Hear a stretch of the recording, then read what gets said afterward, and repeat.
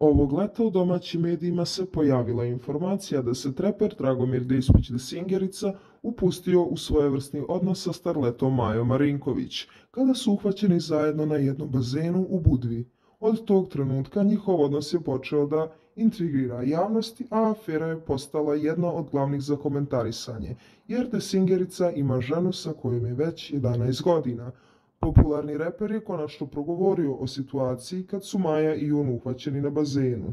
Naime, on je govorio da je to bio jedini put u njegovom životu da su ga mediji izbacili iz takta, a da je nakon objavljivanja tih slika proživeo agoniju sa svojom suprugom, koja ga je probudila u 9 ujutru, čim je ugledala taj tekst, dok je on još uvijek bio u Crnoj Gori. Kad sam bio u Crnoj Gori, tad su me mediji izbacili iz takta. Jedini put. To je bilo ono na bazenu sa Majom. Spavao sam, budim se, žena me je probudila. U devet ujutru mi zvoni telefon, radi Viber, ja se javljam, a ona kaže, šta radiš? Uđi na Viber. Znao sam da nešto jeste. Ulazim na Viber, ono link. Spustio sam ju slušalicu i onda ide agonija, govorio je Desingerica.